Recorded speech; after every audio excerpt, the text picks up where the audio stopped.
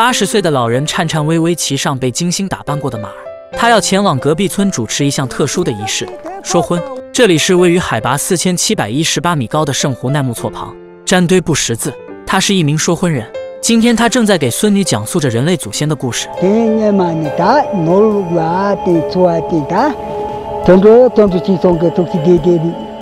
一位村民骑着摩托上门拜访。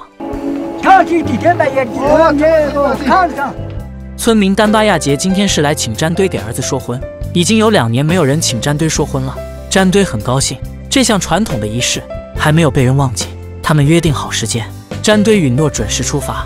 詹堆非常看重此次婚礼，按照传统，说婚人要骑上特殊装扮的马儿到新人家中，所以年迈的詹堆坚持要自己骑马。詹堆十岁跟着爷爷放牧，说婚的唱词是爷爷一句句教会他的，海量的唱词，詹堆早已烂熟于心。说婚是一种特殊的口头说唱，教新人如何识别天气，怎样放牧，如何获得幸福。此时，新人家中正用去年收获的青稞摆成雍重符号，准备迎接说婚人。二十岁的新娘还没开始梳妆，但说婚人已经带着新郎到达村口。此时，门外传来说婚人的歌声。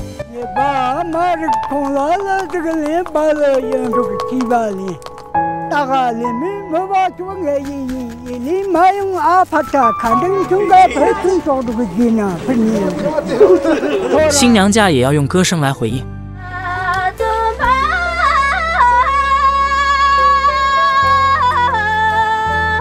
詹堆看到不少人站在村口迎接，便知道此次婚礼与众不同。这次是男方嫁到女方家里，说婚人必不可少。许多年轻人都没见过这样的仪式，对此充满了好奇，纷纷拿出手机来拍照。此时新娘已经打扮完毕，詹堆将一条绳子钉在门框上，然后才唱着说婚词向屋内走去。屋内要挂满吉祥的哈达。新郎此时不能露出脸来，用白海螺和红珊瑚做成的信物缝在新娘的辫子上。至此。两位新人便正式成为夫妻。简约而不简单的婚宴，管饱的牦牛肉，象征丰收的青稞酒，亲人们纷纷给新人献上礼物。婚礼要一直持续到晚上，至少十二个小时。詹堆要一直不停地进行婚礼颂词的唱诵。临睡前，詹堆还需要完成最后一段唱词。老人明显已经很疲惫，但眼眸里都是光。他很高兴这份职业还能发光发热，但难免也有些落寞。在以前，敬酒人还会询问各种问题。关于世界是如何形成的，人是怎样出现的，而他就是那个代替土地做出回答的人。但如今已经没有人再问这些问题了。他找到会写字的邻居，他想把那些口口相传的唱词记录下来。他给把这当真呢？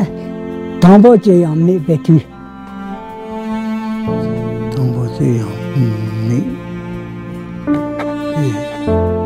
老人一边说，邻居一边用心记那些关于季节、关于山川河流。关于人群的宋词，近八十岁的詹堆全都经历过。虽然年纪越来越大，但他也越来越知道自己在唱些什么了。